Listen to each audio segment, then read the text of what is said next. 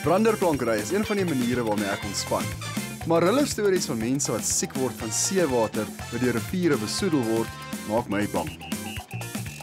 As deel van hulle waterbewaringsveldtog het eThekwini munisipaliteit 'n baie handige webwerf ontwikkel. Ek gebruik dit elke keer voor ek hier kom surf om die besoedeling te monitor, want deesdae weet 'n mens nooit. Hier is een van baie inisiatiewe idees wat die stad se departement van water en sanitasie geloods het.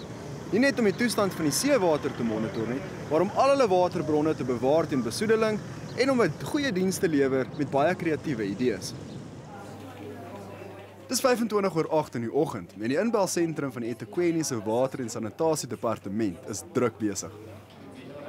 Met meer as 'n miljoen oproepe per jaar moet hulle wees. Die oproepe word 24 uur per dag gemonitor en elke operateur se produktiwiteit kan gemeet word. Good day, speaking to Lisa. May I help? Speaking to Olita, yeah? What's the problem, sir?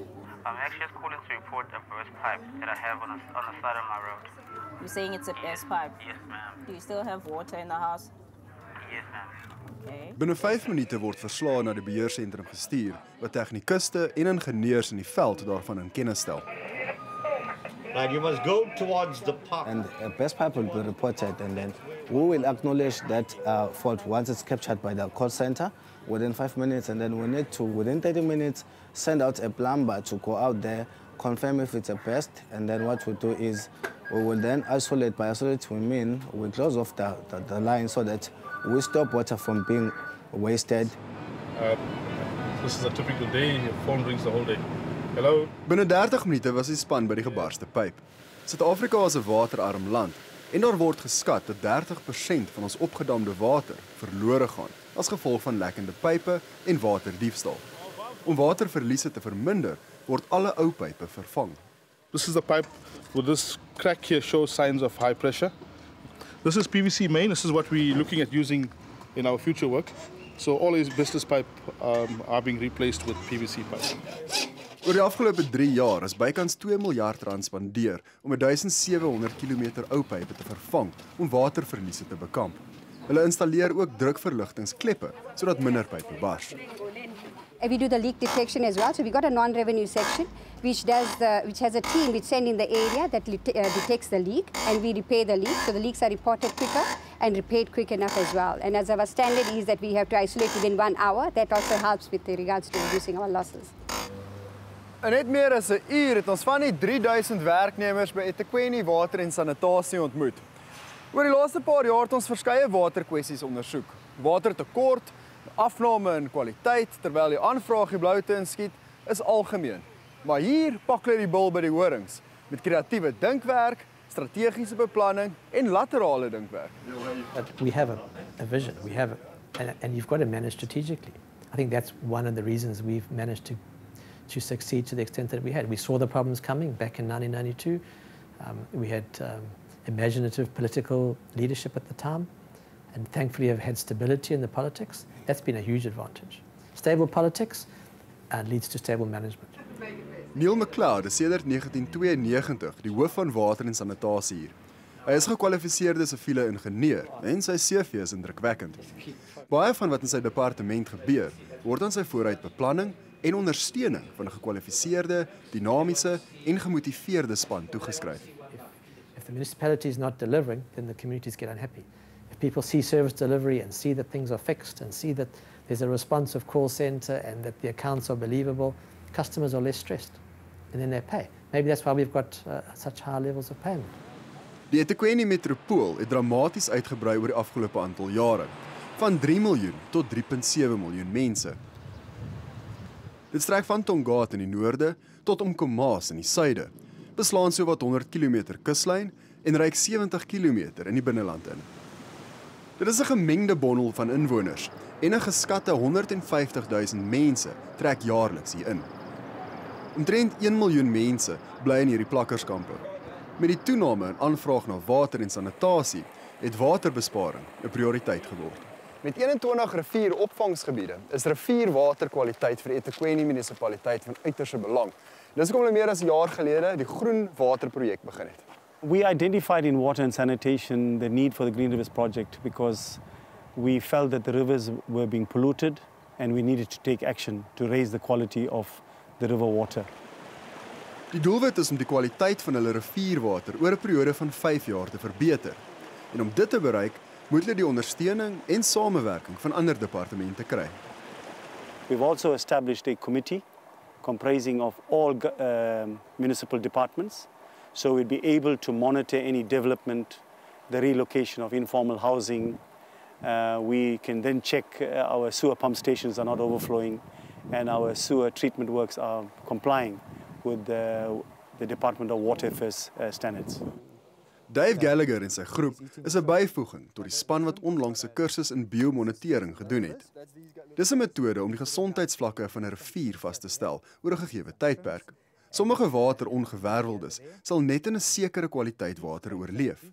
Met opgeleide personeel kan die toestand van riviere meer gereeld gemonitor word en dis meer koste-doeltreffend as om dit uit te kontrakteer. Um, a lot of biomonitoring gets done by outside consultants, um, but yeah, hopefully we're going to be doing it internally on using eThekwini staff, current staff. Ek laat hulle aangaan met hulle biomonitering en kies koers na die Umgeni rivier mond. Les, 'n besoedelingsbeampte, het 'n skeertuig tot sy beskikking. Skeertuig is die ideale ding om te gebruik in 'n rivier soos hierdie waar daar sandbanke, klippe en rotse is. Maar nog altyd op een gery. Hulle het meer as 200 waterkwaliteitstoetspersele wat al die opvanggebiede dek.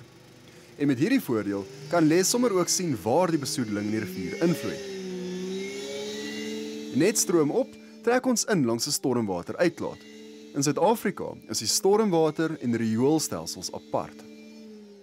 How often would you test the stormwater drain? This is done at least twice a month, and then in the event of any pollution incident uh, that's been reported, or if we picked it up whilst we monitoring, then we'd sample again. What type of stuff do you find in Well, this you'll water? Get commonly it's dyes from the printing industries, and sometimes pump station overflows, and also if there's sewer blockages in the area, you'll also find there's a lot of sewage in the Een van die redes hoekom die riool en stormwaterstelsels apart gehou word, is dat alles wat in die stormwaterstelsels afspoel, direk in die riviere beland. En mens wil nie onbehandelde riool hier laat inkom nie. So this slight glow on top of it's obviously some kind of oil or residue. Yeah, you also get oils that get through from the garages and the industries that are not uh, do not have oil, grease, and fat traps. In Meerdal ontmoet ons 'n ander span met hul eie interessante soeke om te sien of daar wel kruisbesoedeling tussen die riool en stormwaterstelsels is. Hierdie klein rookmasjienkie kan lekkasies tussen die twee stelsels uitwys. What are we trying to see here?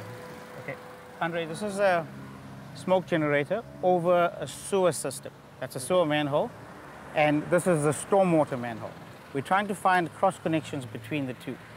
The smoke generator puts smoke under pressure into the system, and it allows you to find out where there's a cross connection between the two systems. Nog 'n probleem in Suid-Afrika is dat wanneer stormwater in die rioolstelsels beland, dit die rioolwerke kan oorstroom en beskadig. Um, you could damage your bacteria culture in your works, and that'll affect the works for a few weeks to come.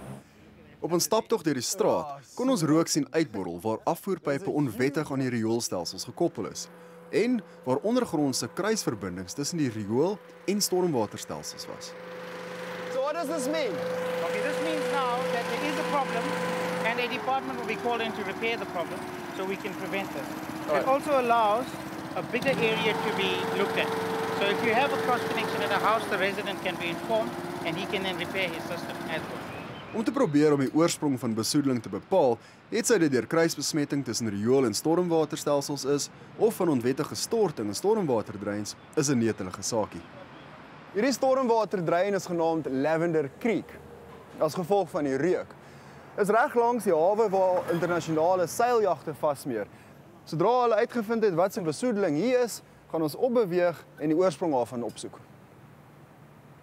Baie keer beteken dit net een ding: ondergronds gaan. Hierdie inspeksiegat lei direk na die hoofstormwater afloop van Lavender Creek voet.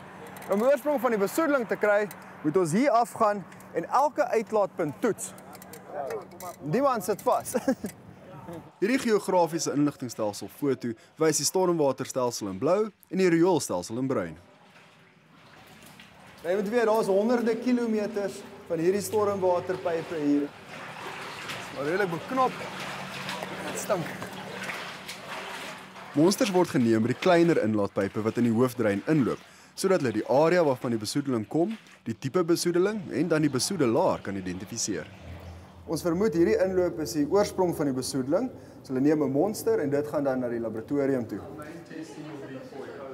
Die monsters word na die eThekwini se munisipaliteit se wetenskaplike dienste laboratorium geneem om daar getoets te word. Dis ook hier waar die afval wat deur maatskappye in die rioolstelsel vrygelaat word, getoets en kruisverwys word. Larry, what does the eThekwini municipality do in order to monitor pollution and effluent in industries? The Tikwini municipality is obliged to only accept the, the industrial effluent quality and quantity that our sewage treatment works is able to treat to the prescribed standards set by the national legislation on them. And through permitting and auditing and inspecting the industries, we regulate the, the effluent they, uh, they discharge, their site, any pollution potential, etc. Maatskappye betaal ook 'n heffing afhangende van die kwaliteit en hoeveelheid afval wat hulle in die rioolstelsel stort. Governor Textiles het die gehalte van hul afval verbeter deur 'n afvalbehandelingsaanleg te installeer. Al was dit problematies as gevolg van die kleurstowwe wat hulle gebruik. Dis egter nie al nie. Hulle volgende stap is om hulle behandelde afvalwater heeltemal te herwin. If we can recycle our water, we're going to reduce our water costs. We're also going to be able to reduce our effluent charges because as we produce better quality effluent, the municipal charges are lower. Ongelukkig is nie alle maatskappye so vrydenkend soos hulle nie. Miskien is dit omdat die boete vir oorskryding van spesifikasies 'n nietige R1000 is. Yes, definitely. Um, we certainly do need a lot stricter fines. Um, on more serious cases like river pollution, we can get the, the national departments involved, um, Department of Water Affairs. They can issue uh, much larger fines which, and uh, punishment which carries a prison sentence as well. eThekwini se pogings begin vrugte afwerp en oor die afgelope jaar was daar 'n algehele verbetering van 43% in die gehalte van rivierwater. Met verdere navorsing van nuwe tegnologie oor hoe om water en sanitasie aan landelike en informele nedersettings te verskaf, kan dinge net verbeter.